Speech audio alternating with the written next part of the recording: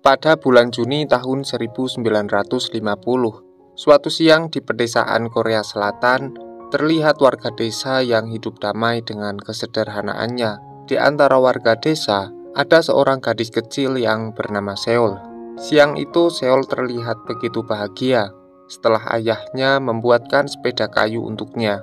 Saat Seol asik bermain sepeda barunya, Tiba-tiba datang tentara Korea Utara yang menyerang dan menghancurkan desanya. Seol kecil hanya bisa menangis ketakutan mendengar suara tembakan dari para tentara Korea Utara itu. Lalu ibunya menyembunyikan Seol di bawah jembatan dan mengatakan pada Seol untuk tidak menangis agar Seol masih bisa bertemu dengan ayah dan ibunya. Namun dalam penyerangan itu, kedua orang tua Seol dan seluruh warga desa dibantai habis oleh tentara Korea Utara, yang berarti hanya Seoul satu-satunya warga desa yang selamat dari penyerangan itu. Sementara itu, di negara Turki, terlihat seorang pria sedang bersiap-siap untuk pergi ke kantornya. Dia bernama Sulaiman, seorang staf teknis militer Turki. Di luar penginapan Sulaiman, terdengar suara sahabatnya yang bernama Ali memanggil Sulaiman untuk segera berangkat karena atasan Sulaiman memanggilnya. Tak lama kemudian, mereka berdua berangkat dengan mengendarai sepedanya. Di perjalanan, Ali selalu menyempatkan datang ke penjual poster untuk melihat poster terbaru Marilyn Monroe, artis yang begitu Ali kagumi. Sementara Sulaiman di perjalanan ia selalu disambut oleh gadis cantik bernama Nuran. Ia adalah gadis yatim piatu kekasih dari Sulaiman. Sambil tersenyum dan dengan tatapan yang teduh, Nuran selalu menghiasi perjalanan Sulaiman menuju kantor militernya. Sesampainya di kantor, atasan Sulaiman memberi kabar tentang keadaan pasukan militer Turki di Korea Selatan yang terdesak dan membutuhkan bantuan pasukan. Lalu atasan Sulaiman menugaskan Sulaiman pergi ke Korea Selatan untuk memberi bantuan kepada tentara Turki di sana. Karena keahlian Sulaiman saat ini sangat dibutuhkan untuk membantu militer Turki di Korea. Mendengar perintah dari atasannya, Sulaiman pun menyanggupinya. Ali yang mendengar bahwa Sulaiman sahabatnya akan pergi ke Korea, tanpa berpikir panjang, Ali memutuskan untuk ikut pergi ke Korea bersama Sulaiman. Di malam harinya, Sulaiman menemui Nuran untuk berpamitan bahwa ia akan berangkat ke Korea. Akan tetapi, Nuran melarangnya dengan alasan, "Aku tidak bisa jauh dari kamu. Bagaimana kalau kamu melupakan aku di sana?" Tapi sebagai seorang perwira, Sulaiman punya jawaban yang bisa menenangkan perasaan kekasihnya. Dan dengan berat hati, akhirnya Nuran merelakan kepergian Sulaiman ke Korea.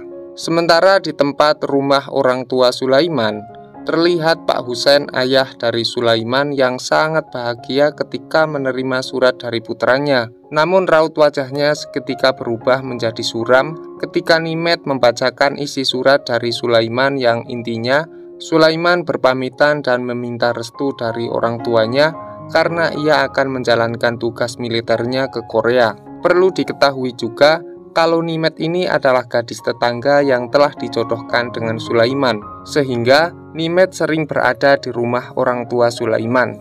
Hari keberangkatan Sulaiman pun tiba. Di dalam perjalanan menggunakan kapal, tak lupa Sulaiman mengirimkan surat untuk orang tuanya dan Nuran, karena mereka adalah orang yang paling mengkhawatirkan dirinya. Setelah perjalanan yang panjang, tentara Turki akhirnya sampai di Korea Selatan, tepatnya di kota Busan. Mereka disambut dengan sangat hangat oleh warga di sana.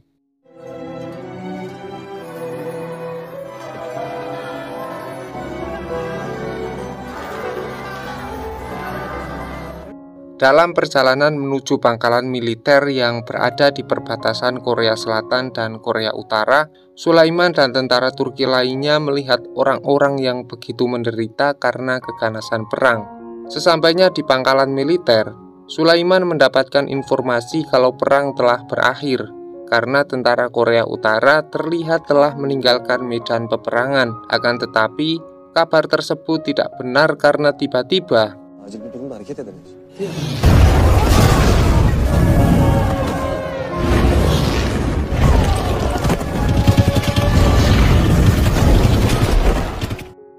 Di malam hari, Sulaiman dan para tentara yang masih tersisa melanjutkan perjalanan ke pangkalan militer lain yang lebih aman. Namun, dalam perjalanan tersebut, tiba-tiba mereka diserang oleh beberapa tentara Korea Utara. Di momen itu, Ali dengan keahlian menembaknya berhasil meratakan mereka semua.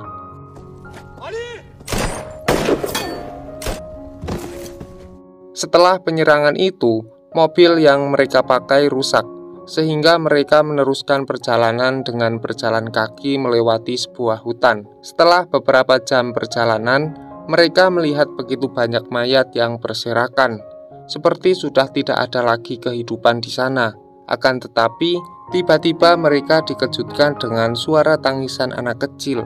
Mendengar suara tangisan itu, Sulaiman pergi untuk mencari sumber suara tangisan itu. Namun, betapa terkejutnya Sulaiman ketika ia mengetahui bahwa ternyata suara tangisan itu adalah suara anak kecil yang sedang menangis di samping mayat kedua orang tuanya. Sulaiman yang merasa kasihan pada anak kecil itu lalu mengulurkan tangan dan memeluk gadis yatim piatu tersebut. Sulaiman juga akan membawa anak itu dalam perjalanan menuju markas militernya. Akan tetapi, rombongan Sulaiman seperti keberatan dengan keputusan Sulaiman karena membawa anak-anak dalam suasana perang hanya akan merepotkan. Namun karena Sulaiman tidak tega meninggalkan sendiri anak kecil di hutan, akhirnya ia membawa anak itu ke markas militernya. Setibanya di markas, Sulaiman menanyakan nama anak itu. Akan tetapi, gadis kecil itu tidak memahami bahasa Sulaiman. Akhirnya Sulaiman memberi nama gadis itu dengan nama Aila tanggal 27 November tahun 1950. Suatu siang ketika tentara Turki melintasi daerah Kunuri, tiba-tiba ada masalah pada mesin mobil yang mereka tumpangi. Sulaiman sebagai seorang teknisi militer lalu memperbaikinya. Di saat itu pula, tentara Korea Utara datang dan menyerang mereka.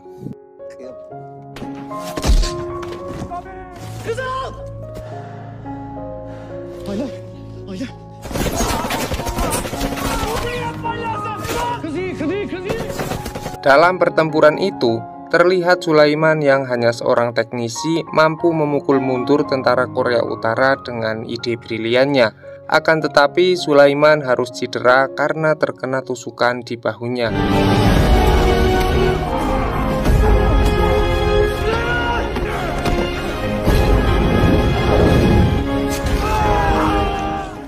Pertempuran di Kunuri itu pun segera tersebar di radio dan surat kabar di negara Turki, sehingga keluarga Sulaiman yang mendengar kabar itu tampak begitu khawatir. Sementara di tempat perawatan, Ali dan Ayla terlihat begitu senang ketika melihat kondisi Sulaiman yang mulai membaik. Setelah Sulaiman pulih, ia meminta izin pada kolonel di sana untuk membawa Ayla saat mengerjakan tugasnya. Akan tetapi Sulaiman mendapat penolakan dari kolonel itu dengan alasan Aila akan merepotkan Sulaiman dan juga membahayakan nyawa Aila jika Sulaiman membawa Aila dalam tugasnya. Sebagai solusinya, kolonel menyuruh Sersan Sadik untuk merawat Aila ketika Sulaiman sedang bertugas. Selain itu, kolonel juga memberitahu Sulaiman kalau besok ia akan diberikan sebuah penghargaan atas keberanian dalam pertempuran di Kunuri. Keesokan harinya pun tiba. Ketika para tentara mendapatkan penghargaan, tiba-tiba Ayla datang di depan mereka dan langsung memeluk Sulaiman. Kedekatan Ayla dan Sulaiman ternyata membuat para tentara Turki terharu. Mereka menganggap kedekatan Sulaiman dan Ayla sudah seperti ayah dan putri kecilnya. Keberhasilan Sulaiman itu juga didengar oleh keluarga dan Nuran karena Sulaiman juga mengirimkan surat untuk mereka. Akan tetapi Nuran merasa cemburu atas kedekatan Ayla dan Sulaiman karena di surat itu Sulaiman juga menuliskan bahwa dia rela mempertaruhkan nyawanya untuk Ayla. Musim dingin pun tiba. Ayla terlihat sangat bahagia karena mendapatkan pakaian baru dari Sulaiman dan seiring berjalannya waktu, Ayla juga menjadi semakin dekat dengan tentara Turki lainnya.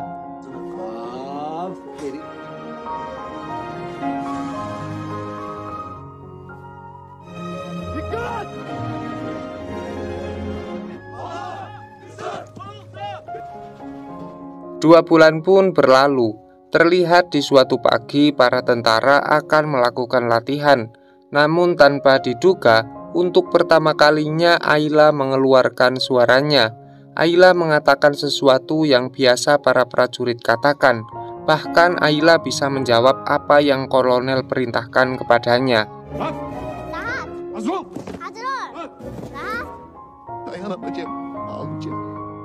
Setelah selesai latihan, Sulaiman mengajari Ayla bahasa Turki dan membaca agar Ayla bisa mengerti apa yang Sulaiman katakan. Lalu di malam harinya, mereka menonton film bersama. Film itu berkisah tentang cinta ayah pada putrinya. Meskipun tidak memahami bahasa dalam film itu, namun Ayla mampu memahami pesan dari film yang dilihatnya, sehingga Ayla menunjukkan gestur tubuh yang tidak ingin kehilangan Sulaiman. Keesokan harinya, ketika sedang tidak bertugas, Sulaiman mengajari Ayla bahasa Turki dengan media sebuah buku bergambar. Ketika Sulaiman akan membuka lembaran baru pada buku itu, Ayla tiba-tiba menahan lembaran yang akan diganti oleh Sulaiman, dan Ayla menjelaskan tentang gambar tersebut bahwa dirinya tidak mempunyai seorang ibu dan juga tidak mempunyai saudara laki-laki, tapi ia mempunyai seorang ayah untuk dirinya. Dan di momen itulah Sulaiman mengangkat Ayla menjadi putrinya.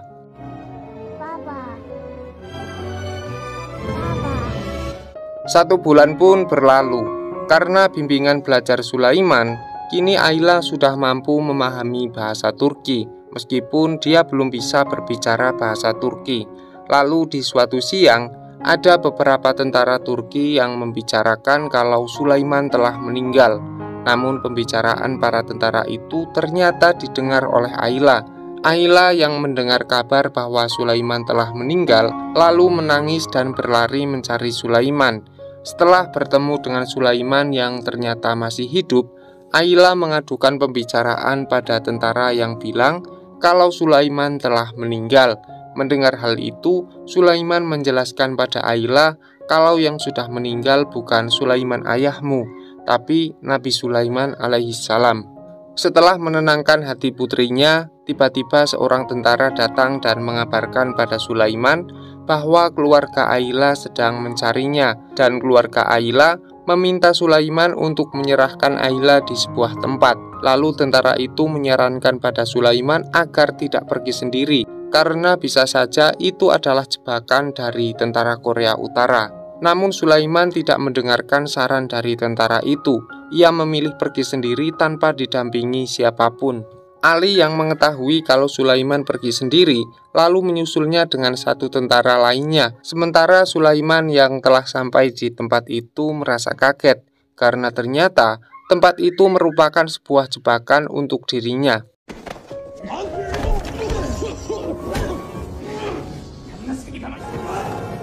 Di saat Sulaiman sudah tidak berdaya, Ali bersama satu rekannya datang dan mengatakan pada tentara Korea Utara kalau tempat ini sudah dikepung.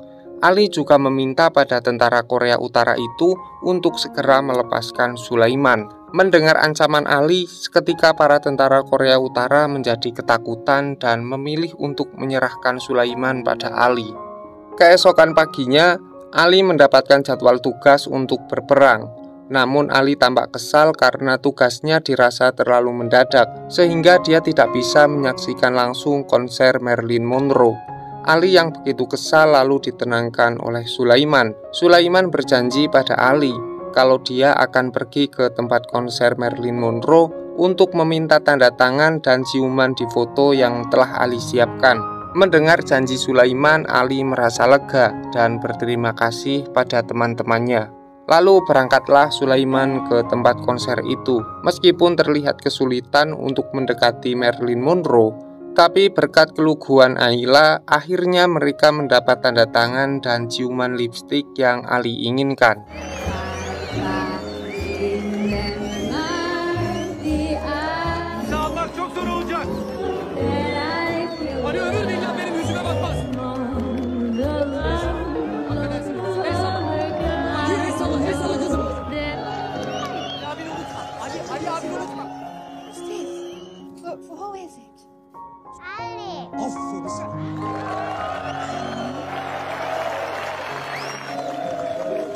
Sementara itu, di medan pertempuran, Ali terlihat tidak fokus karena memikirkan konser artis kesayangannya. Hal tersebut membuat Ali tidak konsentrasi dalam pertempuran yang sedang dijalaninya. Dan di sela waktu saat peperangan, Ali menatap foto Marilyn Monroe. Akan tetapi, Ali meninggal tertembak di kepalanya. Sulaiman yang mengetahui bahwa sahabatnya telah meninggal dalam pertempuran tersebut merasakan duka yang begitu dalam. Terlihat ia duduk bersama Ayla di makam Ali dan mendoakan sahabatnya yang telah tiada. Sebelum pergi, Sulaiman meletakkan tanda tangan dan ciuman lipstik dari Marilyn Monroe di atas makam sahabatnya. Juli 1951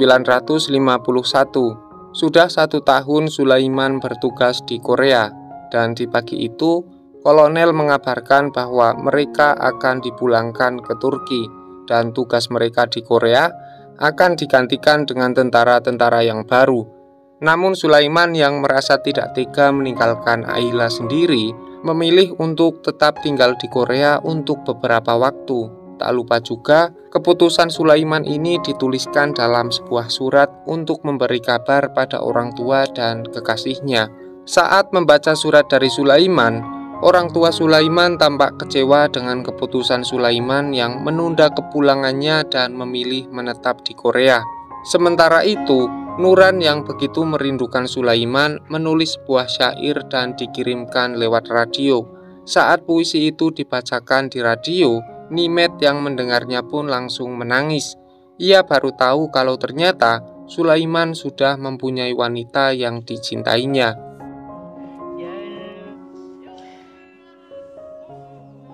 Hari perpisahan pun tiba. Terlihat para tentara Turki berpamitan pada Sulaiman dan Ayla. Setelah mereka pergi, kolonel mengatakan pada Sulaiman kalau dalam 10 hari ke depan akan ada kapal terakhir yang akan membawa para tentara Turki pulang ke negaranya, sehingga Sulaiman bisa ikut kapal itu untuk kembali ke Turki. Dan untuk Ayla, kolonel telah mempersiapkan asrama anak-anak yang bernama Asrama Angkara. Di sana Ayla bisa mendapatkan pendidikan dan tempat tinggal. Mendengar kabar itu, Sulaiman merasa keberatan. Namun di sisi lain, Sulaiman tidak mempunyai alasan yang kuat untuk membawa Ayla ke Turki. Di siang itu, Sulaiman mengantarkan Ayla ke asrama Angkara. Ketika berada di asrama, Sulaiman menatap Ayla dengan begitu sedih karena ia akan pergi meninggalkan putri kecilnya. Karena tidak ingin larut dalam kesedihannya, Sulaiman pun pergi meninggalkan asrama. Namun ketika Sulaiman berada di halaman asrama, Ayla menyusulnya. Ayla menangis dan menagih janji pada ayahnya, janji kalau Sulaiman tidak akan pernah pergi meninggalkan Ayla. Meskipun melanggar aturan, akhirnya Sulaiman memutuskan untuk membawa Ayla ke Turki. Sulaiman menyembunyikan Ayla di dalam sebuah koper besar agar tidak ketahuan ketika di pelabuhan dan benar saja Sulaiman lolos dari pemeriksaan itu. Akan tetapi ketika beberapa langkah lagi dia akan memasuki kapal, seorang pengasuh asrama mengadu pada militer Turki kalau Ayla telah hilang. Sebagai orang yang paling dekat dengan Ayla, Sulaiman pun menjadi orang yang paling dicurigai dan akhirnya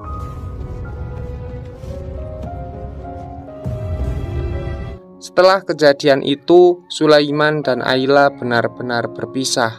Sebelum berpisah, Sulaiman berjanji pada Ayla kalau ia akan segera kembali untuk menemui Ayla.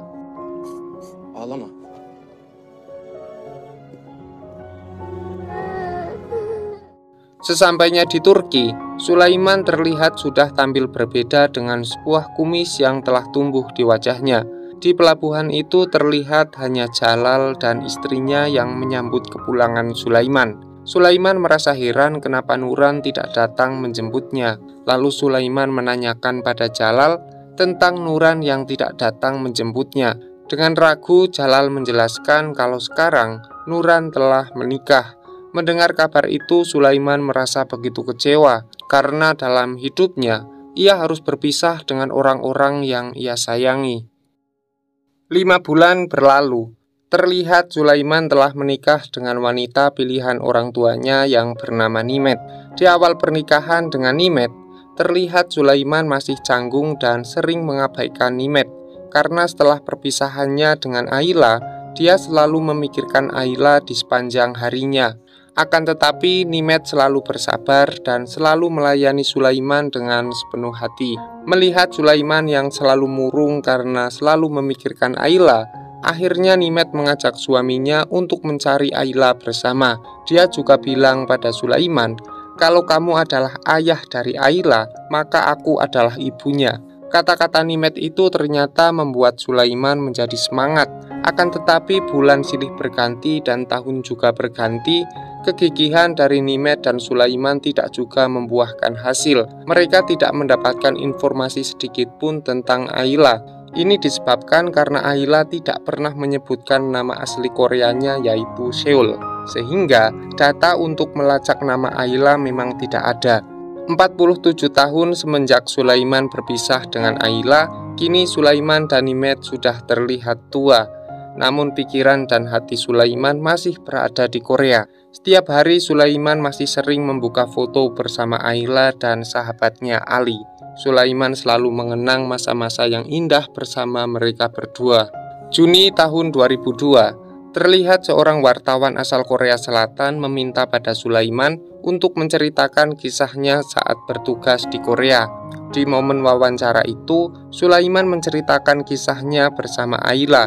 Setelah mendengar kisah dari Sulaiman bersama Ayla, para wartawan tersebut merasa tergugah hatinya untuk membantu Sulaiman dalam mencari Ayla. Di momen itu, Sulaiman merasa bahagia karena dia akan segera menepati janjinya yang belum terpenuhi, yaitu janji untuk menemui Ayla kembali. Selesai wawancara itu, Sulaiman memberikan semua informasi tentang Ayla yang akan membantu para wartawan untuk menemukan keberadaan Ayla. Lalu tanpa berlama-lama para wartawan itu bergegas untuk mencari Ayla. Terlihat di negara Korea para wartawan yang sudah berjanji pada Sulaiman untuk menemukan Ayla mulai melacak keberadaan Ayla. Mereka melakukan pencarian dari arsip tempat Ayla sekolah. Namun beberapa arsipnya sudah rusak dan hilang karena sudah terlalu lama. Namun para wartawan itu tidak menyerah. Bertahun-tahun mereka terus mencari dan mencari informasi tentang Ayla. Kegigihan mereka akhirnya menemukan enam nama alumni Angkara yang masih bisa dihubungi. Mendapatkan informasi tersebut, para wartawan itu pergi menemui enam orang itu untuk mencari informasi tentang Ayla. Setelah wawancara dengan enam orang itu, para wartawan segera menemui Sulaiman di Turki untuk mengabarkan kalau ada enam orang yang berhasil dilacaknya dan enam orang itu adalah orang-orang yang mengenal Ayla.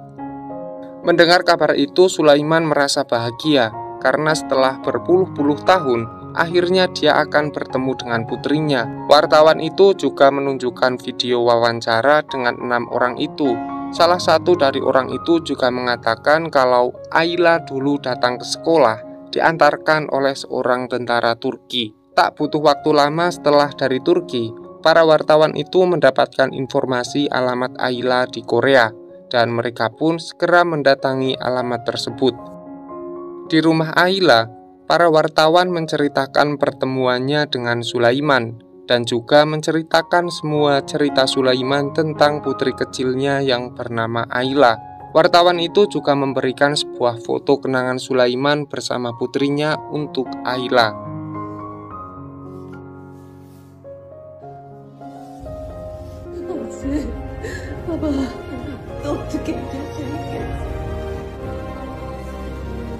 Delapan tahun pencarian Ayla, tepatnya bulan April 2010.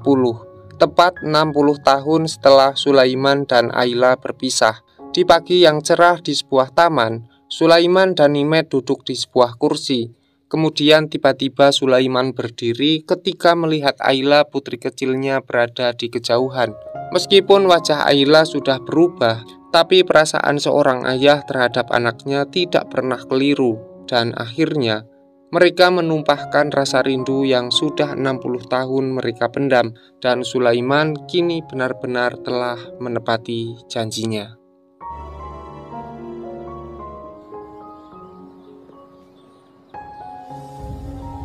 Değil